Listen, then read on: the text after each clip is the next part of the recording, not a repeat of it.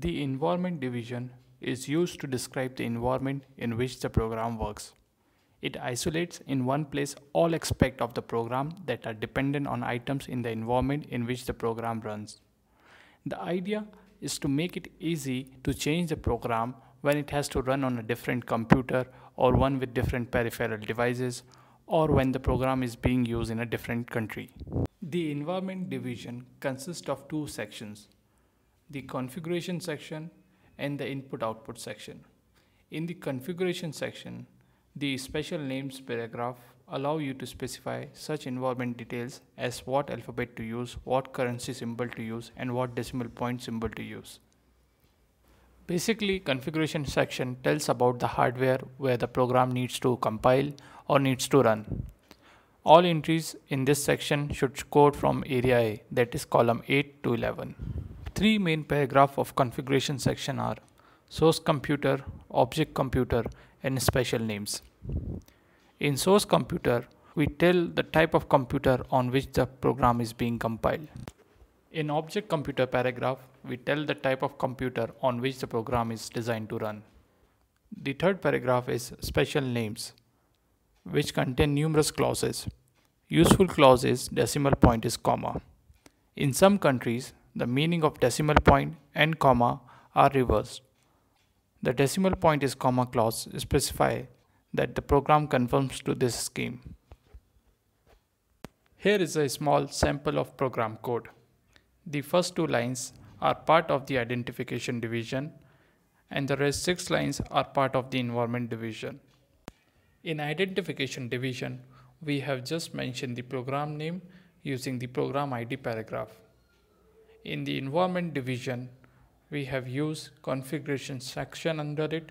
Under configuration section, we have used source computer paragraph, object computer paragraph, and in both the paragraph, we have used the computer name as IBM hyphen PC and ended it with a period. We have also used decimal point is comma clause under the special name paragraph which means that our program is written for a country or a market which is using comma as a decimal point. Apart from decimal point is comma clause, the other clause which you may see is symbolic character clause. This clause let you assign a name to an unprintable characters like escape, carriage return or line feed characters. Second section of environment division is input output section. This section contains two paragraphs file control paragraph and IO control paragraph. In file control paragraph, you will describe the use of data files in your program. Whereas in IO control paragraph, you will describe the behavior and internal handling of some of the input and output with the associated files. IO control paragraph is not used often. Here is a sample code using input output section. The first six line of the code is already discussed Seventh line denotes the start of input output section. Under input output section, file control paragraph is used. Under file control paragraph, select assign clause is used. In this clause, we will assign the actual file name with the file name in the COBOL program. In this example, the actual file name in.dat is assigned to file name input hyphen file which we will use in the COBOL program.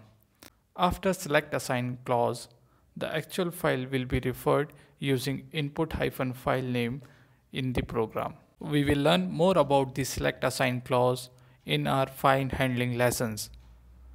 As of now, this is the end of the environment division. I hope this lesson give you a fair idea about environment division and its two sections that is configuration section and input output section. Keep practicing. See you in the next lesson.